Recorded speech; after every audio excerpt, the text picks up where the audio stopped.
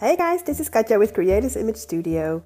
Today I'm sharing with you a quick review of Graphic 45's Time to Celebrate collection. This is last year's one of last year's collections. Gorgeous colors as you see, some minty green and some salmon. I find this gorgeous also with the gorgeous lady here and the theme is well, celebration. So it's birthdays, weddings, births, well, you name it. This, of course, their signature sheet, always gorgeous. The Graphic 45's signature sheets. There's three of each sheet. And here is an example of the party theme. There's children, so this is very suitable for a child's birthday. Lots of cut aparts.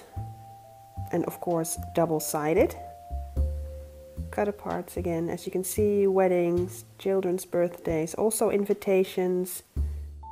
Of course, the stamp pattern that they do in every one of their uh, collections.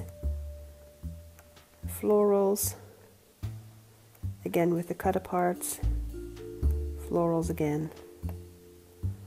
And that's it. So although I find this very, very gorgeous, especially the colors and the color combinations, I find it a bit difficult to come up with a project that is not a card.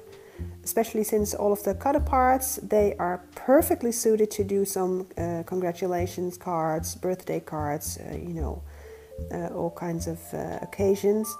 But it's for example, more difficult to do like a mini album because of the very uh, many occasions that are represented in this paper. So there's not one paper that does just birthdays or just a wedding or you know just a birth.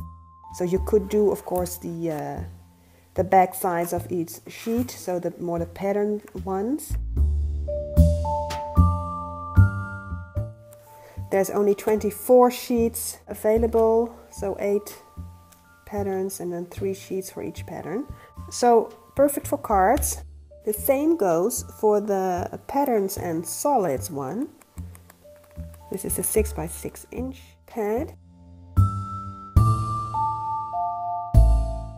There's the die cut sheet with the pockets and the tags. And then there's the chipboard 1. Now I have not been able to find the chipboard 2 I'm guessing it must exist uh, because of the number, the number one, suggesting there's a number two as well. But at least here in the Netherlands, we cannot, uh, well, I cannot find that. And then I bought some of the 12 by 12 inch sheets as well, just a couple, mainly to do some gorgeous fussy cutting here.